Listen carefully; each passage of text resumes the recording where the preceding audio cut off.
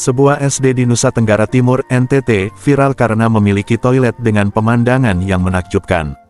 Bahkan sampai-sampai seorang selebgram menyebutnya dengan SD pemandangan tercantik di Indonesia.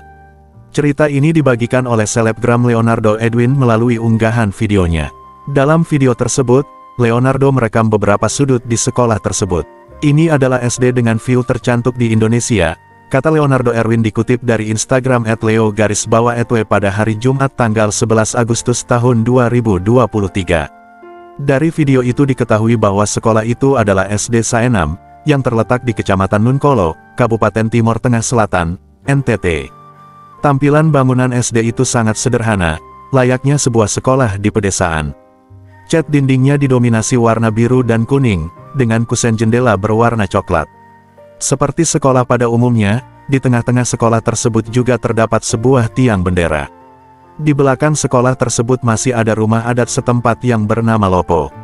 Sekilas memang tidak ada yang spesial dari bangunan SD tersebut. Tetapi ketika Leonardo berjalan menuju area belakang sekolah, di situlah surga tersembunyi berada. Di bagian belakang sekolah, terdapat dua bangunan kamar mandi yang sangat sederhana hanya terbuat dari semen yang belum dicat.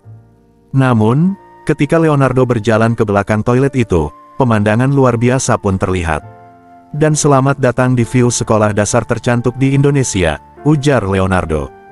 Benar saja, ternyata lokasi SD itu berada di atas ketinggian sekitar 500 meter di atas permukaan laut. Dari atas ketinggian itu, seseorang bisa melihat keindahan laut NTT. Terlihat gradasi warna air laut yang begitu mempesona dari biru muda di dekat pantai hingga biru tua di bagian yang lebih jauh. Video tersebut telah disaksikan sebanyak lebih dari 139 ribu kali. Para warganet pun ikut takjub dengan pemandangan alam yang disuguhkan dari lokasi SD tersebut berada. Sebagai informasi, Leonardo Edwin sendiri merupakan konten kreator di bidang traveling.